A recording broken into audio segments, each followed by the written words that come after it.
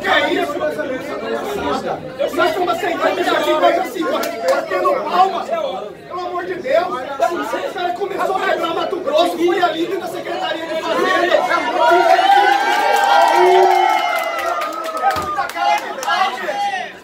Cara que, é isso? Servidor não pode aceitar isso, Nós estamos calmos, nós estamos calmos. Porque a gente não pode ver gente que foi condenada por corrupção tá aqui falando sobre corrupção. O que, é isso? Tem que ter na cara.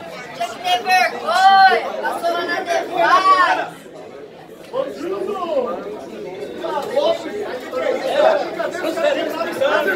Foi esses caras que começaram essa situação.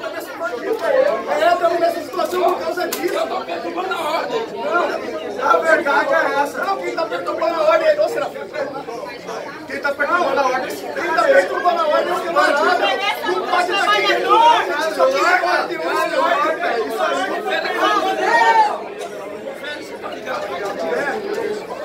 Isso aqui virou um escárnio. Isso Cara, virou um responsável pela escárnio. quebradeira. Pelo amor de Deus, não, não vem, pode não ficar no tipo pisado dentro do poder público, gente. Pessoas com essa, tá de brincadeira. Isso não é sério, não. Isso não é uma assembleia séria. Pode colocar a gente na. Já vai, manda matar também. Daqui a pouco vão mandar matar. Porque é desse jeito que acontece no Estado. Quem fala muito morre. Sobre o quê? É isso, palhaçada, gente. Foi eles que começaram a dívida ativa. Foi eles que meteram a dívida pública lá na casa do caramba, lá em cima. Foram eles que colocaram os incentivos fiscais. Colocaram esse caminho